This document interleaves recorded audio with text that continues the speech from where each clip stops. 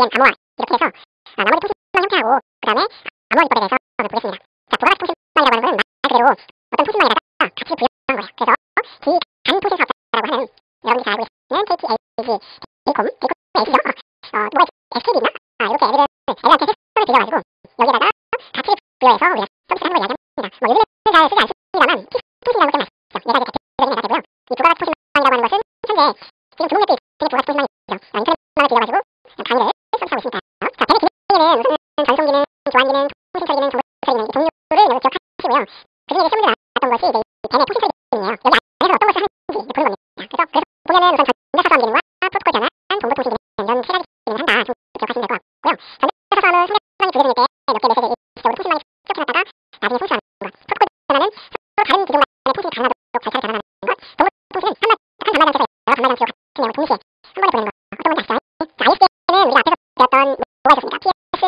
그 다음에 PSDN이 있었습니다. 그 다음에 나온 게 이제 ISDN이에요. 얘는 전화, 팩스, 영상 통화 이런 걸 모두 다 한 번에 하자라는 개념으로 만들어내고요. 우리나라에서 100% 얘가 국산화가 돼가지고 붐이 됐었죠. 지금 이제 뭐 통신 때문에 거의 쓰고 있지 않습니다만 지방의 어떤 도시적들은 아직도 쓰고 있다는 얘기 들었어요. 다시 날짜부터 수신자까지 모든 전송 교환 과정이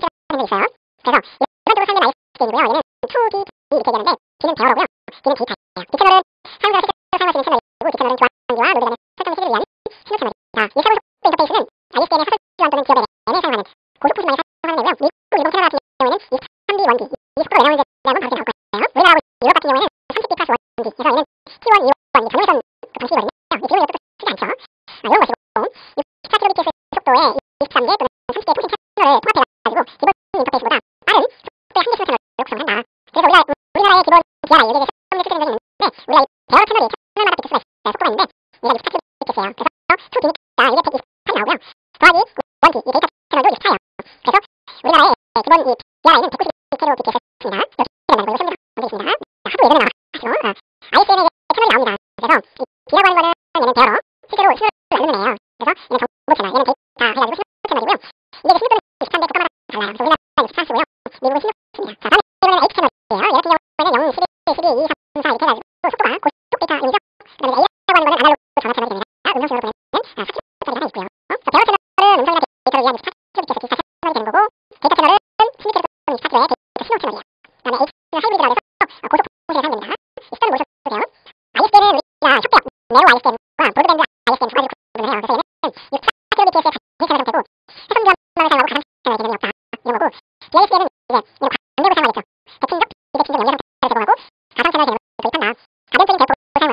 연결 상태고 ATM이라고 하는 패킷 교환망을 사용한다. 그래서 이 B-ISDN 기반으로 만들어진 ATM입니다. ATM이라는 말 들으셨을 거예요. 이 고속 통신망이거든요.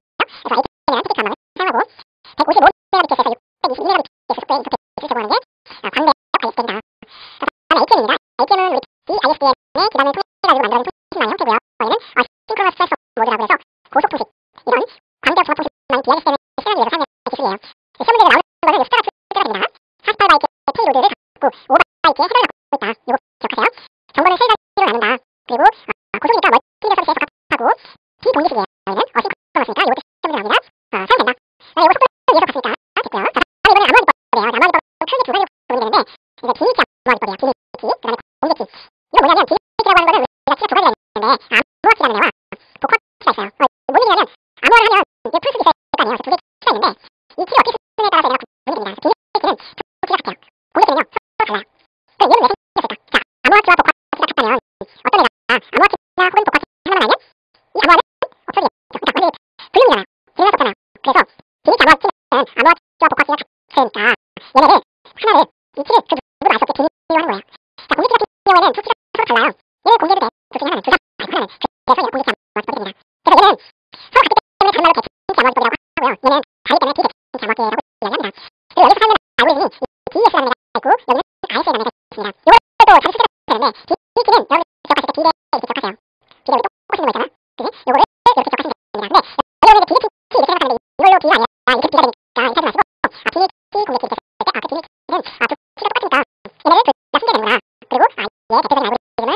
음, 있구나 이렇게 기억하시면 될 것 같습니다. 그리고 뒤에서 한번 또 시험 문제 예측 문제 있는데 자 아, 얘는요 어, 이 글로 암호의 예측으로 풍문 64, 64kg 나눠가지고 56피트의 키를 사용하고 알고리즘이나 시점을 적어주세요. 자 전력 패를 사용되는 어, 암호 예측의 특별한 기능이 있습니다. PP라는 애하고 PM 둘다 이제 전력 패를 사용되는 암호 기법인데 얘를 보면